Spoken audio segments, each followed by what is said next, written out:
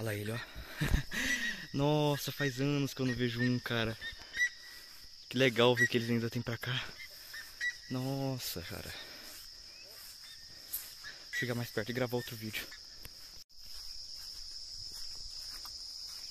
Olha lá, olha lá, olha lá. Que bonitinho.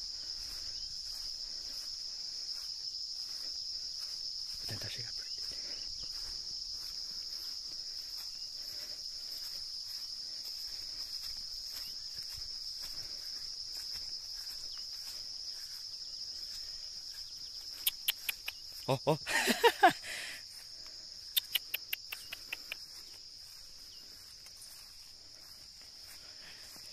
Não posso chegar perto dele não. Um bicho desse se gruda em mim, nunca mais eu tiro ele. Ó, ó. Você tá querendo entrar pra essa mata mesmo? De lá é fazenda, cara. Os cachorros vão te matar. Não, não, não. Não vou deixar tu entrar aí. Não, não, não. Tu vai pra lá. Tu vai pra lá, tá bom? Ei, você mesmo, vai pra lá. Isso, me obedece. me obedece. Você vai pra lá, tá bom? Oh, que animal bonitinho, cara. Na moral, nem parece que esse bicho, se tiver oportunidade, gruda na minha perna e não solta mais. Tá bom, senhor, eu não tenho como te impedir. Vá pra essa mata mesmo, vai. E vai logo.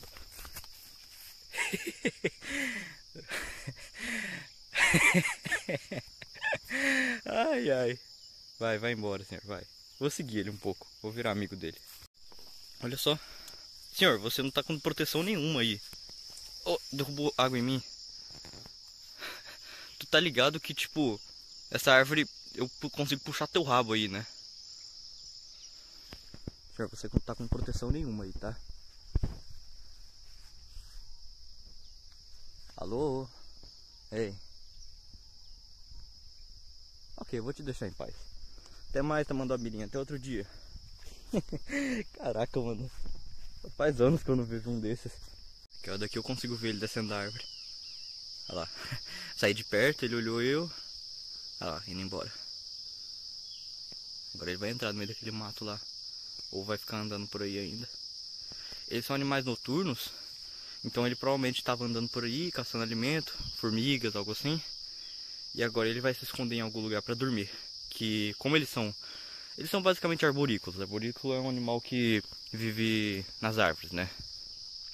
Então ele vai subir em algum tronco aí, se enfiar em algum buraco, ou só dormir no meio do, daquele capim alto ali. Ele na frente eu vi o primo dele. ó, tomando a bandeira bem ali, ó. E, é um pássaro que tá fazendo esse som assustador. Olha lá, cara. Correu, ó. Nossa, vamos chegar na mata.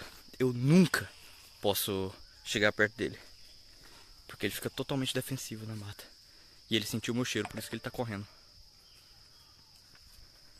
Só que, pô, correr pro campo aberto é meio idiotice, né, Tamanduá? Ou será que ele tava correndo de outra coisa? Eu duvido um pouco. Vou seguir para ver onde é que ele tá indo, mas na mata ele se sente protegido. Então, se você chegar muito perto dele, assim, na mata, ele provavelmente vai tentar lutar contigo.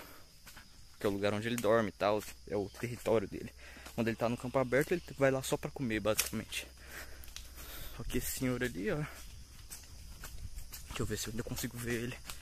Bom, ele fugiu. Ele entrou em algum desses matos aí, ou em algum desses arbustos aqui. E eu não vou entrar aí pra trás dele não, viu?